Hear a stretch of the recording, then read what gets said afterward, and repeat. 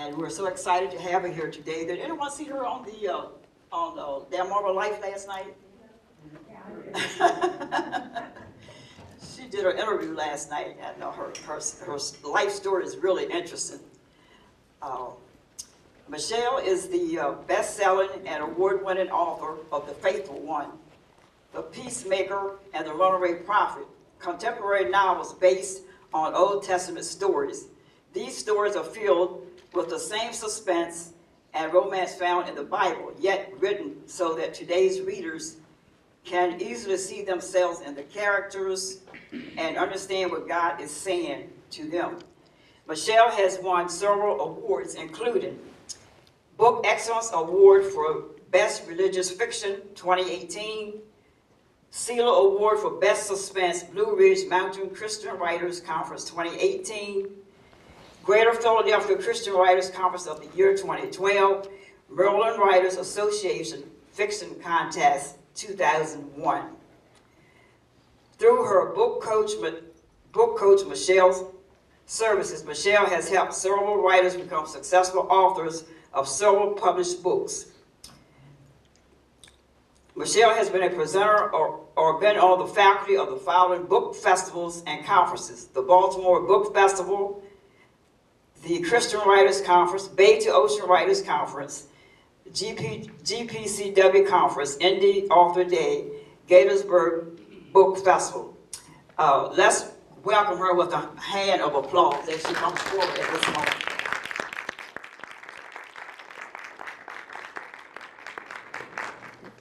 Thank you, Patty. oh, I'm going to give this to you to take with you. Good morning, everybody. Good morning. Thank you, Betty and Joyce and the committee for inviting me to speak today, be your keynote at the 10th annual Vine and Vessels Conference. Yeah. Now, although I was born and raised in Baltimore, and I currently live in Northeast Maryland, these parts of lower Delaware are no stranger to me. When I graduated from the University of Notre Dame, I became a news reporter nearby in my, near my hometown in Bel Air, Maryland. And the first day on the job, I was the first female crime reporter ever to work at the paper. I showed up that first day all decked out in my new suit and my high heeled pumps, only to end out in a big field where I met the police officers who were investigating a dead body. It stunk to high heaven. But even that did not prepare me for the story I was going to do down here. I was working at the Salisbury Daily Times and they sent me to a chicken farm. there are a lot of chicken farms down here, right?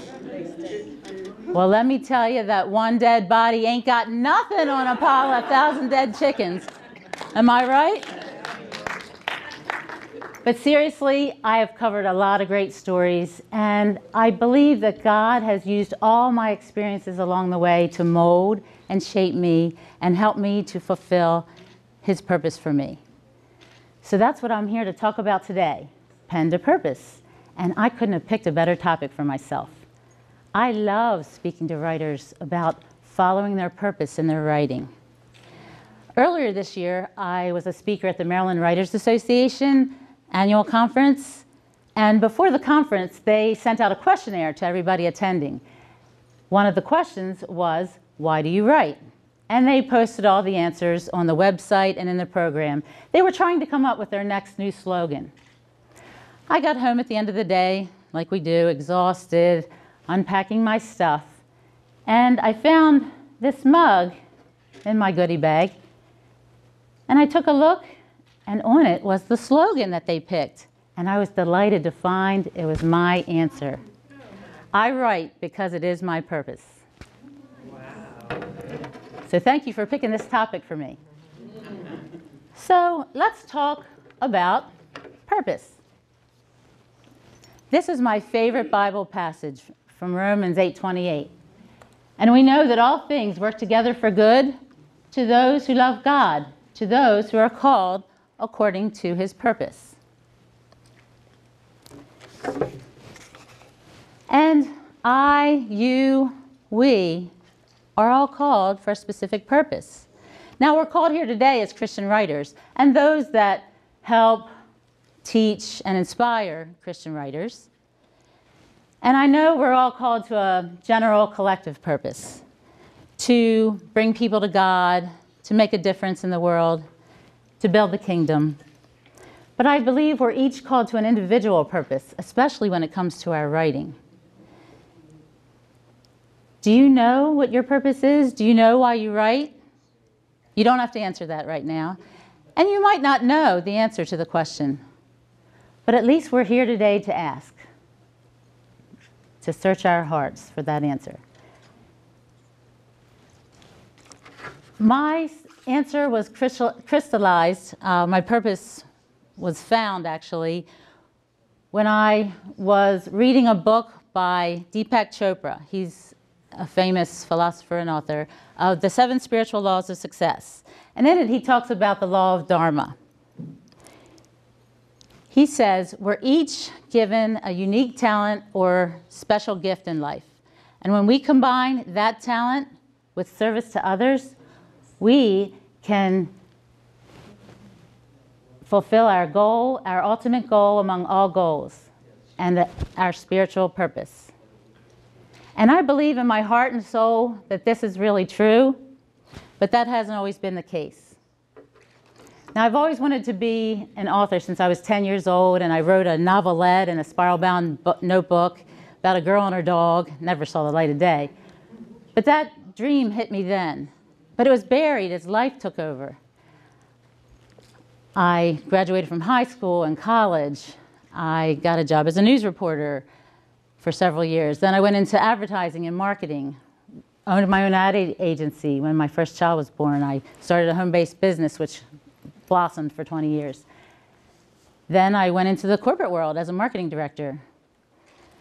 I got married, had three kids, got divorced, got remarried, acquired two more kids for the blended family of five.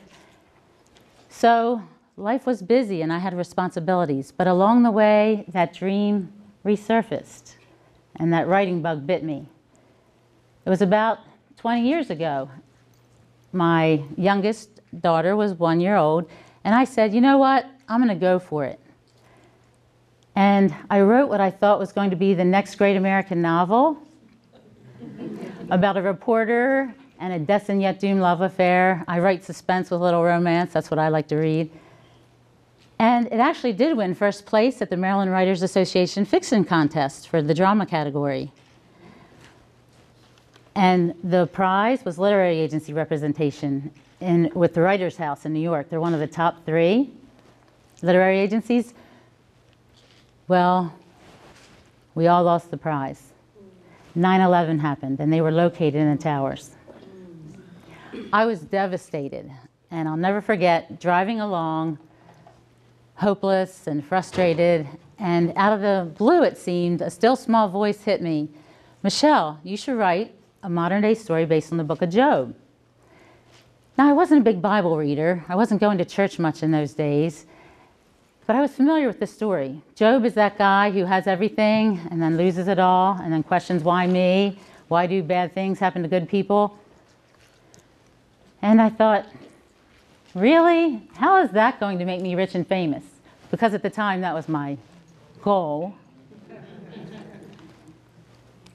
And I resisted it, but it wouldn't let go. So I started writing. And it took me about eight years to write it. And I look back now and see that God was tapping me on the shoulder. That He was trying to bring me through some Job like stuff that I was going through. I was losing my marriage through a bitter divorce. I was losing my business through a recession. I was losing my kids who were teenagers. And I was losing my health through the, through the disease of alcoholism. And fortunately, like Job, God brought me through to the other side. And today, I'm happy to report that I'm remarried to a wonderful man. We have a great relationship with all five of our kids and two grandkids. I'm living the dream of being an author, speaker, and book coach. And I'm going on 15 years in recovery.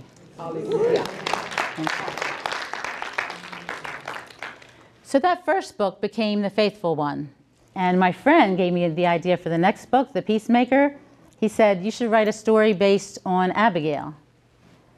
Still not a big Bible reader at the time. I said, Abigail who? And he said, Look her up. And it turned out I know why he said that because I could relate. Abigail's originally married to Nabal, who's a mean, narcissistic, abusive alcoholic. Um, they say, what, write what you know. We get along now, though. Uh, and then she becomes King David's second wife, right? And she has to risk a lot and have a lot of courage to bring peace for the good of all. So, wrote that book, and I started to do some speaking at groups like this, uh, book, book groups, church groups, women's groups. And I started to realize that my books weren't, didn't just help me, they were helping other people. After the faith, I did a talk on the faithful one somebody came up to me and said, after reading your book, I decided to go back to church. And I was like, wow.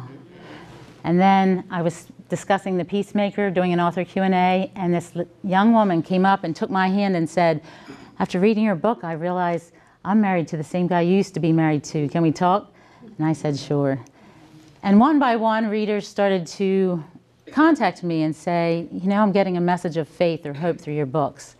So that encouraged me and made me realize it's not just all about being rich and famous. But still, like we do, I got frustrated that book sales weren't happening fast enough. God, you gave me this dream. Come on, let's make it happen. Let's make it into movies. Let's get it going. And I sat through a Bible study on Jonah and realized I'm still a little bit like Jonah, trying to run from that call. Jonah is the guy who goes to Nineveh. Well, he doesn't want to go at first and jumps on a cruise ship. So in my book, he goes to a modern day Nineveh, Las Vegas, called to work with the FBI on a radical terrorist group underground in the casinos building a nuclear bomb.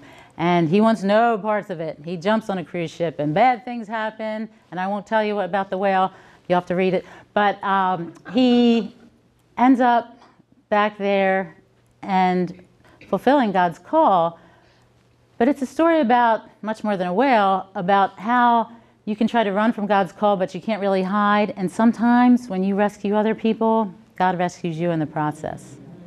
So that became The Runaway Prophet. And I have another book coming out next year called The Jealous Son, based on Cain and Abel from Eve's perspective. Again, write what you know. I have two sons that have that sibling rivalry. They're 26 and 28 today and that's going to come out next June. Praise God. So I wanted to talk about purpose, pen to purpose, but first, I feel that we need a plan. You know your purpose, you're ready to write. Perhaps you've already written or got published. You still need a plan for your book, right? In Habakkuk it says, And the Lord answered me, Write the vision, make it plain on tablets, so may, he may run who reads it. Write it down. Write your plan down. You need to write your goals, your mission, your vision.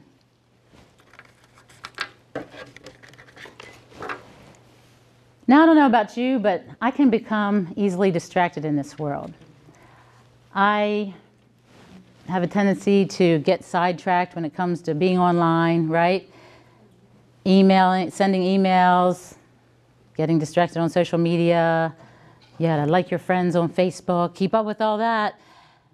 And not to mention, answer the phone, answer texts, job and family responsibilities, on top of writing, editing, proofing, publishing, marketing, and publicizing your book. I get tired just saying it, right? it can become overwhelming. So we need a plan. And without one, it's like a person standing at the bottom of Mount Everest looking up and saying, How do I get to the top? You wouldn't climb Mount Everest without a plan, right? True that. True that. You wouldn't travel anywhere without a plan. Heck, I needed Google Maps to go from this church to the town of Georgetown, right? Thank God for Google Maps. So you need a plan for you and your book. Or a year from now, five years from now, you'll still be stuck saying, Why didn't I get there? And when you're my age, if you don't write things down, they go poof into thin air. I get to the top of the steps, I'm like, why did I come up here again? It's terrible. A person that inspired me on writing down my plan, my goals, vision, and mission was Jack Canfield, co creator of the Chicken Soup for the Soul series. I had the honor of going to an all day workshop shop with Jack, and there's a picture of him and I on my website. He's a great speaker. But even if you don't get the opportunity to go listen to him in person, get his book, The Success Principles. In it, he talks about how we should all write down 101 goals for ourselves, for our lives. It Doesn't matter how old or young you are, write them down. And he also says write down five action steps each day. He calls it the rule of five to get there, to get those goals accomplished. So let's just say your goal is selling 500 copies in the next year to friends and family. Well, I need to call up that cousin of mine and ask if she'll review my book. I need to um, email these friends that I haven't seen for a while and ask them if they'll please read it and review it, and so forth. Say your goal is getting your book on the New York Times bestseller list. Well, you got a lot of action steps there to do. You need to send it out for reviews and send it out to, well, you might first have to get it published, send query letters out to editors and publishers, and you know, do that, invest in that marketing and publicity. Say your goal is getting your books made into movies. Well, you need to reach out to producers, right? So tomorrow I'm going to call that producer or send that email to that library where I want my books to appear. I want to call up a friend and ask her to write a review. Five, they can be simple things, action steps to achieve your goals. And Jack says in his interview in his book, he interviewed Lou Holtz, who is another hero of mine. He was my football coach at my alma mater, Notre Dame. Yay, go Irish. and Lou Holtz, at the time he was being interviewed, had achieved 102 out of 107 goals for his life. That included visiting with the Pope, having dinner at the White House, winning a national football championship, and landing a plane on an aircraft carrier. I know. My, mine were uh, the ones I've some of the ones I've achieved. Getting going to Italy with my husband, five-year plan. That was, it was wonderful. Uh, getting on television. I was on WBOC last night. Uh, giving a keynote address at a conference. This is my first one, so check that off. Oh, thanks. Getting on the New York Times bestseller list. I've got a plan for my next book, so you just got to keep at it. So Lou Holtz says, if you're bored, I never get bored, but if you're bored and you don't wake up every day with a burning desire to get things done, you don't have enough goals plain and simple. So these are two, like I said, of my mentors, heroes, the winners. In the 12 step program, they say stick with the winners. You got to find those winners and then find out how they get where they go. You need to surround yourself with good people. God tells us in Jeremiah, and I will give you shepherds after my own heart who will feed you with knowledge and understanding. Now, this doesn't mean that all people around us are actually good for us, right? right. We have to be discerning. But you'll, you'll know, and you'll fall, and you'll meet some people that don't have your best interest at heart, and you just move on from there. So when, when you do, let it go. Don't be judgmental and move on. I think most writers out of the gate are probably like I was and can still be. wide eyed and full of optimism and thinking that everybody, all our friends and family, are going to be hyped up about our books like we are. They want to get the word out, right? How great we are, how great our books are. We're, we're a celebrity now, we're a star. But that hasn't always been the case for me, and I'm sure not for some of you as well. My mom, bless her heart, I know she loves me, but when I told her I was quitting my day job a little over two years ago to be a full-time author, said, "Are you crazy? How how is that going to make you enough money? You only had five people at your last book signing." Okay, mom, I got a plan, right?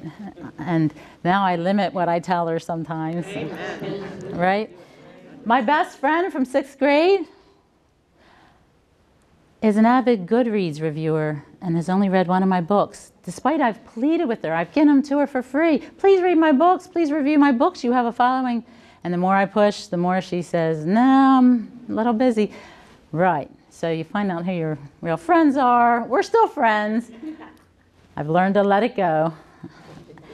And even Jesus wasn't a big star in Nazareth, wasn't a big big hit, right? In Luke, it says, He went to Nazareth, where he had been brought up, and on the Sabbath day he went to the synagogue. He stood up to read. Wait a minute, isn't this Joseph's son? They said. Like, who does he think he is, right? Truly, I tell you, Jesus said, no prophet is accepted in his hometown. Still, there will be other people who will amaze you. And I had this experience this year. Strangers that you haven't even met yet are out there God's ready to put them in your path. You need to be open to them. Don't try to go this alone. We writers want to hole up, I think, in our writers' cubby holes and man caves and she shacks and whatever they call it now. And just don't. I'm a writer. Why do I have to do all this other stuff? That's what I said in the beginning. I swore I would never go on Twitter, and I did. So you can't go it alone. It just won't work that way. And I don't think God wants us to. The disease of alcoholism is a disease of isolation, right? It's in the fellowship that we find the solution. And God made us for fellowship, right? Yep. We're all here today. Pat yourself on the back. Don't compare yourself to others. Stay in your lane. Write what you know, write what's on your heart. Don't try to write to the market because the market's always changing and trends are always changing. So do you. Last but not least, encourage one another. St. Paul says to be encouragers, right? And St. Paul, talk about mentors or people we can liken ourselves to. St. Paul was one of the biggest sinners in the beginning, right? He killed, killed Christians.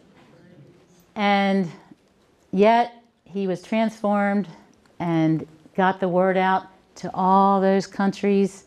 He wrote over half of the New Testament, sometimes from a prison cell. But he really got out there and spread the word. So I'm pretty sure he had what we in the writing world call a good platform. So Jesus says, Suppose one of you wants to build a tower. Won't you first sit down and estimate the cost to see if you have enough money to complete it? We need to invest in ourselves and in our books. Sure, we might only have a few hundred dollars, maybe not even that, but invest what you do have and watch it grow. I think writing a book is like tending a garden. God puts that seed on our heart, right? The seed of the book idea and the ability to get it done. But we have to do the work. We have to water the seed and fertilize it and pull the weeds, harvest the fruit, right? It's all part of it. So we have to do the work. You can't just sit back and say, okay, I'm done. My book's you know, take over Barnes & Noble, sell my books. Doesn't work that way. So invest in yourself, invest in marketing and publicity, invest in hiring a good editor or a good proofreader. You want your book to be as good as it can be to get out there. And ask for help. Jesus said, Ask and you shall receive, right? Seek and you shall find, knock and the door shall be open to you. Ask newspapers to do an article on you. What's the worst they're going to say? No or not now? Uh, ask radio and TV stations. When I knew I was coming here, I called up WBOC and sent them an email, and they said we have an open slot on Delmarva Life last night. All I did was ask. Ask Barnes Noble in your area, can I do a book signing? And if they say no, ask the smaller bookstore around the corner. Ask the library. Ask to speak. And I know that's not in everybody's comfort zone. Try to get it in your comfort zone. Look at Moses. He had a speech impediment, right? And yet the Lord called him to speak to the tribe of Israel to bring them to the promised land. Now, yeah, he relied on his brother Aaron to do the speaking for him, right? But that's okay. We have people and places to help us today. We have Toastmasters. I joined Toastmasters back in 2012, and I had a terrible fear of public speaking. I still can have that fear, but it helps you to practice, practice, practice among your peers until you finally are able to get out there. So, speaking is the number one marketing tool, by the way, my publisher says, for authors. So, just start small. It's like building a fire, start with kindling, and then you wouldn't put a log on there and say, I tended to shoot high because I'm an overachiever and I wanted to shoot to the top right away, and I got a little rejection up there. So I said, okay, I need to start small with kindling. Small, groups of 10, do an author Q&A, start with your family and friends, start with your book club that you're in, and then build up from there. Start with your church group. There are lots of opportunities. You just need to look for them and then ask to, to achieve those. And Jack Canfield says, with rejection, when they say no, you say, next. okay. Uh, I've gone out of my comfort zone a few times, and it's hard. International Christian Film Festival, my knees were shaking when I was pitching to those producers, right? But I got Michael Hauge to help me, and I paid him a few hundred dollars to coach me, me to pitch that, my books. Uh, I've also went to the National Religious Broadcasters. They have a conference every year called Proclaim. So next year will be Proclaim 19. They get a variety of great speakers. Pastor Rick Warren, who wrote The Purpose Driven Life, was there when I went. Roma Downey, uh, and several others. And I was able to talk to them about my book. So it's all good exposure, right?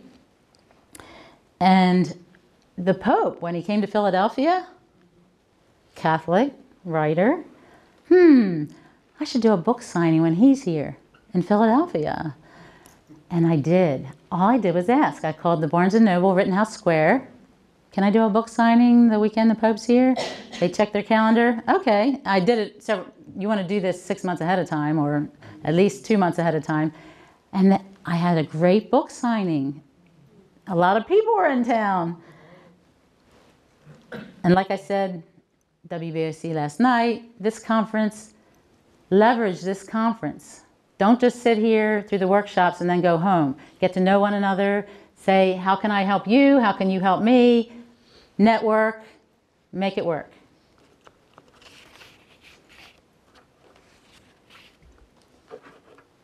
So you need to persevere and have persistence. One of my other favorite Bible quotes I am doing a great work and I cannot come down. That's from Nehemiah. I'll never forget when I heard this and it became my mantra for a good long time when I was launching my next book, when I quit my day job and, and was ready to do that.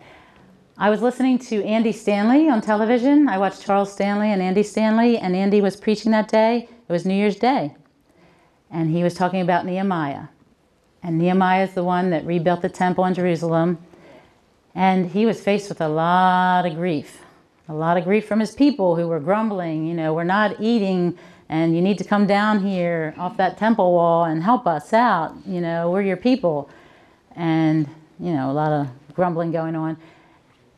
And his enemies were ready to shoot him down off the wall. They're like, You better go into hiding, son, because we're coming after you. And he just kept going and built that temple. So you need to be that way with yourself and your books and your dream. Stick to it. Don't come down off the wall.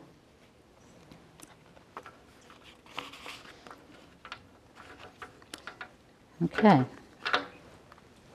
So be persistent. And also, Jesus says this Therefore, you should be perfect just as your Father in heaven is perfect. Now, I know it's hard to be perfect, but what he's saying is strive for perfection. I teach students at Cecil College, and I'm constantly telling them, you know, get books on the source, email me, I'll send you a bibliography of books that, that are good ones to read on craft. Keep going to these conferences and keep striving to make your book better because you never get a second chance to make a first impression, right? You want that book to be perfect. And go the extra mile when it comes to research. These days, research is easy, right? You go on the internet, you Google whatever, and find out the answer. But that doesn't necessarily make it authentic. Sometimes you need to go to where you're going, the setting of your book, and talk to the people, your characters in the book, and really sit with them, be with them if you can, to make your book authentic. And this goes for fiction or nonfiction. You want it to be authentic. And my next book, The Jealous Son, is set out in the West, and it's based on Navajo Indians or Native Navajos in Navajo land, they call it, out in Arizona. Because Adam and Eve were the original people, right? So the original Americans were the Native Americans. So that's why I selected that. Now, having no background or people I even know in, in that field, I Googled and I researched on the internet. I researched each of my Bible stories, by the way, with the Anchor Bible series. It's a really in depth look into the Bible. And I do read the Bible today, by the way. read it front to back and starting over again. But I felt like I still needed to talk to somebody, right? But so I called. My husband works out uh, his plant. He works at Gore, but they have a plant out in Arizona and we flew out there and got to know some of the, his coworkers. And when we came back, one of them said, I know, I sent her my book, um, the advanced reader copy, and she said, I know a native Navajo. I can see if they'll read it and authenticate it. They said no. Then she said, Well, I have a cousin who knows somebody. I'll ask them. And they said no again. Turns out the Navajo people are very private. Don't want their pictures taken, don't want to be in books, don't want to have anything to do with anything that's public. So I was kind of at a loss. And I said, well, I guess it'll just have to be good enough to get out there, you know, with the research I've done. I still wasn't comfortable with that, but I didn't know what else to do. And then I heard a speaker at the Baltimore uh, book, I'm sorry, Baltimore Writers Conference in Towson, Maryland where I went to school, at high school. And I went out there, and one of the authors, who is on the New York Times bestseller list, said she went, she was doing a story on immigrants and went all the way down to the wall and camped out for weeks with these immigrants to get the flavor of that and to get to know them so that her characters in her book would be authentic. And that really struck me. Michele, you need to try harder. You need to go that extra mile, right? So I got back and I got to thinking and I did some more research and I saw Diné College is out in Arizona and it's a native Navajo college. So I picked up the phone and I asked for the PR director. I thought maybe he can help me. He answered the phone and he said, I'm a native Navajo and I'll be glad to read it and I'll, I'll help you edit it and authenticate it. All I had to do was ask, right? so I'm very grateful for that. So just, you really want your books to be perfect. Okay. And last but not least, you need to have passion. You need to believe in yourself. Jesus says in Matthew, For where your treasure is, there your heart will be also. You only race against yourself, right? You're not supposed to race against the next one who's maybe even writing in your genre because if you compete with them, that's not always good for you. you. You need, but still, you need to run the race, right? And he says, For where your treasure is, there your heart will be also. So believe in yourself. Well, I'm talking about that competition. I grew up in a very competitive family. Our family reunions, they're like crazy. Like somebody always gets injured, it seems, like playing softball and volleyball and and three-legged race and everybody's like oh egg toss if you if you lose egg toss with your partner they come after you and throw the egg at you um, yeah crazy big irish catholic family mm, uh, but i love them and I grew up with this competitive spirit, always trying to win. And so, because I'm an overachiever and very competitive, I thought coming out of the gate that my books would rise to the top. And when they weren't doing that right away, I got frustrated.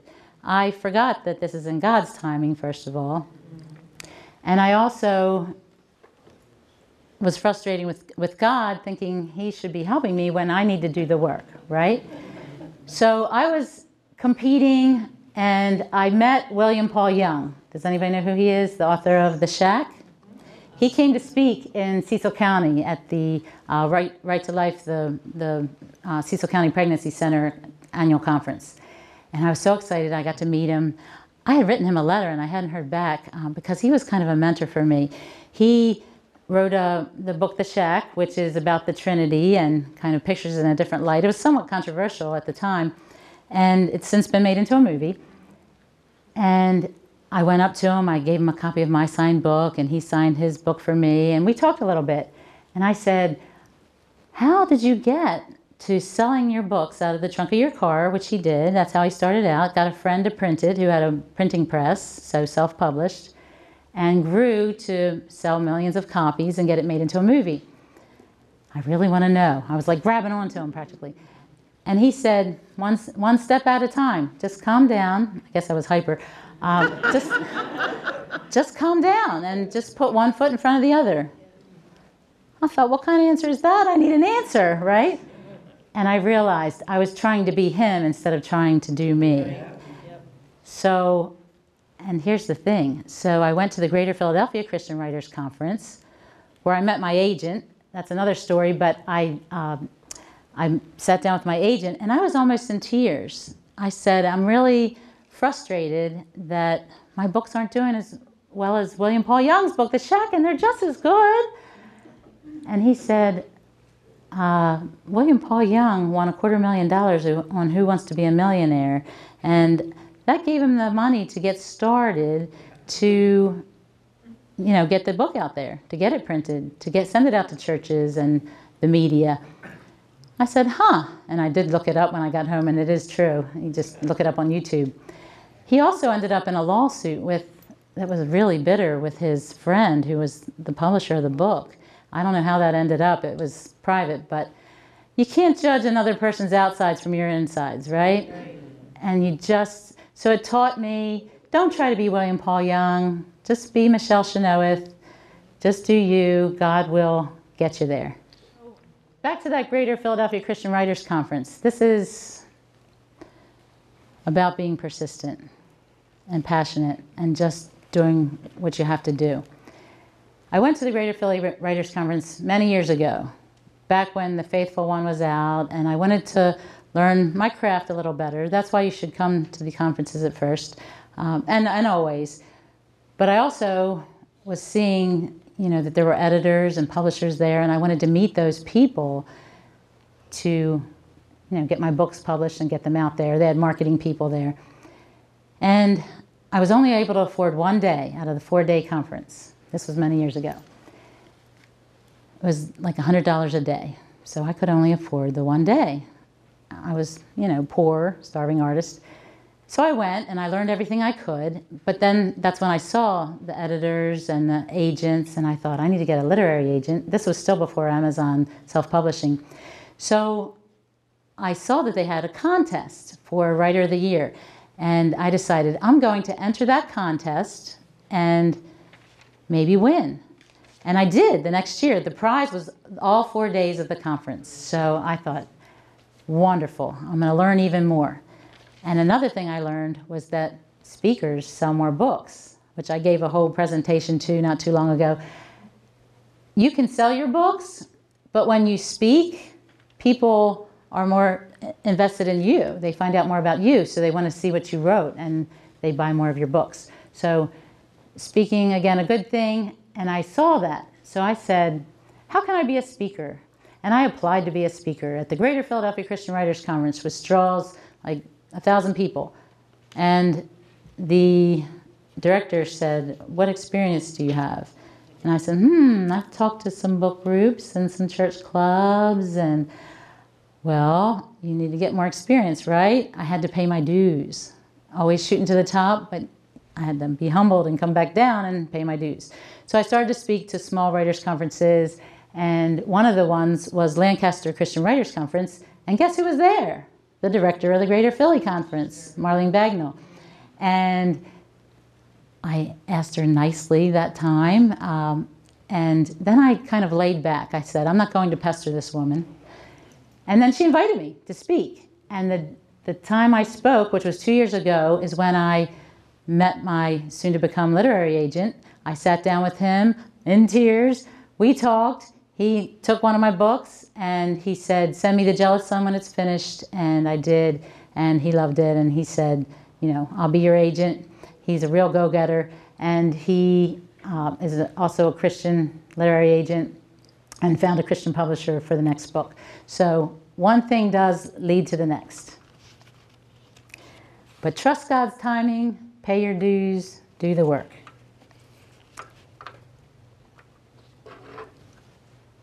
Okay, and follow your heart. And my last P, by the way, I love this topic because it has alliteration, and then you saw I use a lot of P words. I just love that. Another good reason I think I was meant to be here today. Matthew says, The kingdom of heaven is like a man that is a merchant seeking goodly pearls. And having found one pearl of great price, he went and sold all he had and bought it. That's how you need to treat your book and your dream. Don't cast it for free among the swine, like, oh, here's my book, here's my book, please read it, and you don't know where it's going. Be selective. Display it proudly, right? We have lots of books over here displayed proudly today. And take a look at, at the winners. Be proud. Be proud of what you bring to the table. And I have two writers that I work with right now. I'm editing their books. And both of them have great books, by the way. One is a memoir about his wife who has Alzheimer's disease, and he wrote this really touching memoir. The other one, uh, his name was Mark. The other one, Larry, is writing a nonfiction book, just finished it, on biblical principles in business life. So, how you can apply biblical principles, like I did here, to your business practice. And it's a great book. I know it's going to be make a difference in the world. But both of those writers have questioned all along the way. I don't know if this is good enough to get out there. I don't know if this is really should be a book. And I'm like, yes, yes. I keep encouraging them, but you need to feel it in your heart you you can't publish this and hope that it'll sell and get out into the world and get God's message across if you don't believe it and you don't feel it deep down inside and you don't stand behind it. And I think I'm getting the one is there, I'm getting the other one there, and I'm like, yes, this definitely needs to be published. So again, stand behind yourself. And there are going to be times when you feel like the only person that believes in you is you, and that's okay because you got a higher power up there that also believes in you. He wouldn't have put it on your heart if he didn't want it to happen, right? So, last but not least, I just want to wrap it up with saying get your books out there. Keep writing, keep your faith, be warriors of the word, help build the kingdom, and put pen to purpose. Thank you.